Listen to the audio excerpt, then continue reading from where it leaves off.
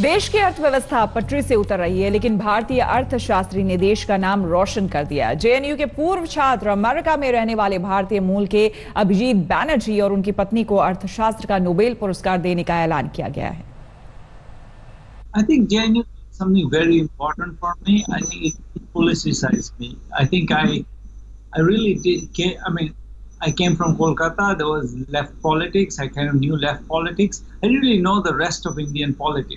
So the Lohiites were very important for me. I, I got to the Gandhians, the RSS, all of these other kind of facets of Indian politics, and and it made me. It's not that I particularly had to uh, join any of these streams, but I, I, I, it taught me a bit how to relate to each of them, where where they stand, what what are conversations in which they have different positions. So it, it gave me a much better sense of of the politics of India.